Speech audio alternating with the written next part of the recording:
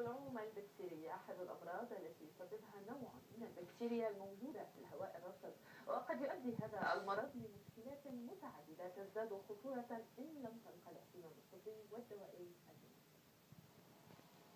الإحساس بضيق في التنفس أو وخز في الحنجرة إشارة مألوفة لإصابة محتملة بالزكام أو البرد. قد يكون السبب الجو البارد والجاف في فصل الشتاء أو قد يرجع لنوع من الحساسية الموسمية التي تتبدل بتبدل الفصول. يعد بعض الأطباء التهاب البلعوم والحنجرة لعدوى بكتيريا. يمكن أن تكون خطيرة إذا لم تعالج فورا.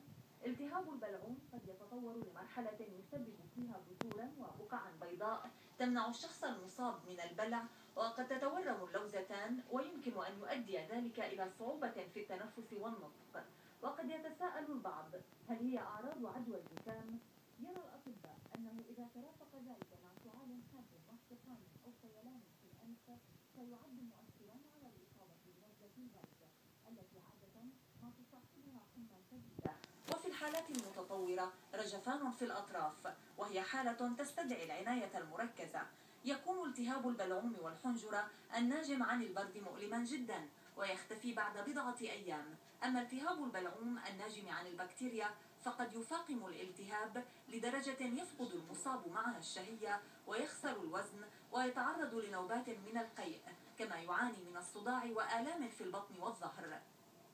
قد يعالج التهاب البلعوم البكتيري بالمضادات الحيوية والأدوية لكن إن لم يواظب المصاب على أخذ تلك المضادات فإنه قد يتعرض لمشاكل جدية تؤثر على صحة القلب وتصبح مقاومة تلك البكتيريا لاحقا للأدوية واضحة بسبب قوة مناعتها. ينصح الأطباء بأخذ الأدوية وتناول الحساء الساخن إضافة إلى استنشاق رذاذ البخار والحرص على الحصول على تدفئة جيدة مع الإكثار من شرب الماء يومياً. وينضم إلينا هنا في الاستوديو استشاري أذن وأنف وحنجرة دكتور فتحي أبو بكر. صباح الخير دكتور فتحي. بداية بالحديث عن التهاب البلعوم هل هو نوع واحد أم هناك أنواع عدة لالتهاب البلعوم؟ طبعا التهاب البلعوم هو عبارة عن عدة أنواع من بتكون عبارة عن أنواع فيروسية وأنواع بكتيريا. المريض بيجي على العيادة بيكون عنده حرارة عالية ألم في الحلق سيلان في الأنف. طبعا أول ما بنفحص المريض إحنا بننظر على الحلق بنشوف إذا كان في أي إفرازات موجودة على اللوز افرازات بيضاء. مباشرة بنعمل لهم فحص بنسميه rapid strep test. فحص لهي البكتيريا بتكون النتيجة خلال خمس دقائق من في نفس العيادة. إذا بين إنه في عنده streptococcus group A. ساعتها هذا يعتبر التهاب بكتيري ولازم يأخذ طبعا مباشرة مضادات حيوية لمدة 10 أيام. لأنه إذا في هاي الحالة إذا كان streptococcus موجود هاي نوع من البكتيريا اللي هي بتؤدي إلى التهابات في المستقبل. لصمامات القلب التهابات روماتيزم التهابات على الكلى. نفس البكتيريا تدخل نفس داخل الجسم؟ هي لا هي نوع ولا نوع من البكتيريا هو يصيب فقط منطقة الحلق. هي نوع من البكتيريا بتصيب منطقة الحلق اللي هي نوعية نوعية معينة اسمها streptococcus A group A. في عندنا group A B C. بس هاي النوعية من البكتيريا دائما هي أخطر أنواع البكتيريا. سمعنا في التقرير بأنه تكون في المناطق ذات الهواء الرطب. طبعا طبعا هي بتكون على الحلق. على اللوز والتجاويف تبعت اللوز هاي البكتيريا. طبعا في الأجواء الباردة هاي البكتيريا بتنشط. في الأجواء الباردة أو عندما يشرب الإنسان عصير بارد كتير في ناس بيكون عندهم شوية تحسس في الحلق. هاي البكتيريا بتنشط في هاي المنطقة بيكون عددها قليل بس لما تنشط بصير عددها ضار في الحلق. في طبعا أنواع ثانية اللي هي بكتيريا غير streptococcus A يعني هذا مش معني إنه إذا إحنا فحصنا وعملنا زراعة مباشرة rapid strep هذا الفحص اسمه مباشرة بالعيادة بنعمله مشان نستعجل في إعطاء ال antibiotic إذا طلع هذا الفحص negative طبعا بنأخذ زراعة اللي هو culture swab اللي هو من الحلق وبنبعثه للمختبر لأنه في أنواع ثانية كثير بكتيرية. وبعدها بنشوف النتيجة شو بيطلع أي نوع من البكتيريا على أساسه لإيش sensitive هاي البكتيريا بنعطي ال antibiotic المناسب. مرة جديدة دكتور ما هي الأعراض الأولية التي يمكن للشخص أن يشخصها بنفسه يعني أن أن يد... التي تدفعه لأن يتجه إلى الطبيب لإجراء هذا الفحص؟ أول أول شيء بيكون عنده المريض بيبدأ في ألم حاد في الحلق وسقف الحلق مع ارتفاع في درجة الحرارة مع قحة تبدأ معاه مباشرة. خلال يوم أو يومين تبدأ قحة شديدة تنزل. هاي أعراض التهاب اللي هي بكتيري نفسها أعراض يعني أعراض مشتركة أعراض البرد والزكام صحيح. والالتهاب الرئوي.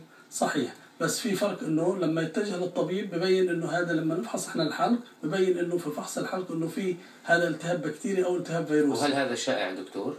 طبعا بشكل عام الأطفال عندنا اللي بيجوا أكثرية الأطفال بيكون عندهم لأنه في المدارس كيف هاي بتنتقل عن طريق ال- الكلام عن طريق الرداد تبع اللعاب في المدارس في التجمعات اللي بيكون فيها اكتظاظ الأطفال في الرعاية الأولية في كل هاي الحضانة بيكون عندهم. طيب. ذكرت أنه قد يؤدي في حال الإهمال إلى ربما أمراض ومشاكل أخطر بكثير. يعني كثير من الناس عندما يصابون بهذه الأعراض يهملونها على أساس أنها نزلة برد عادية أو يأخذون دواء بنفسهم يعني ويشفون بعد فترة. في هذه الحالة ما الذي تنصح به؟ إحنا في هاي الحالة إذا كان التهاب البكتيريا هذه اللي هي streptococcus أكثر من ست مرات التهابات بالسنة بتيجي على التهاب اللوز مباشرة إحنا ندعي المريض انه نعطيه أولوية انه على أساس نشيل اللوز لأنه التهاب هذا بيكون في اللوز في اللوزتين.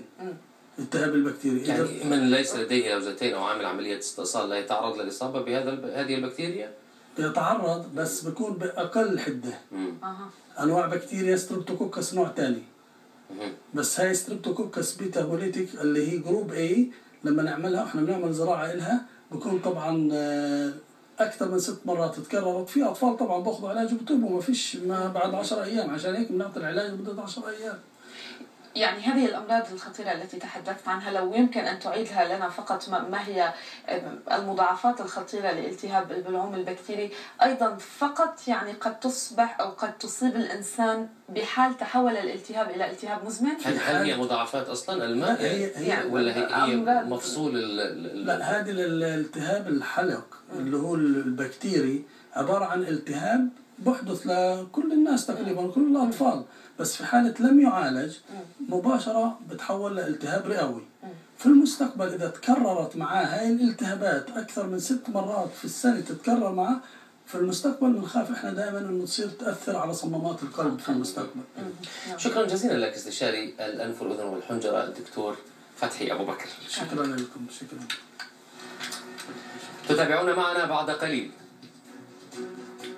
ربات بيوت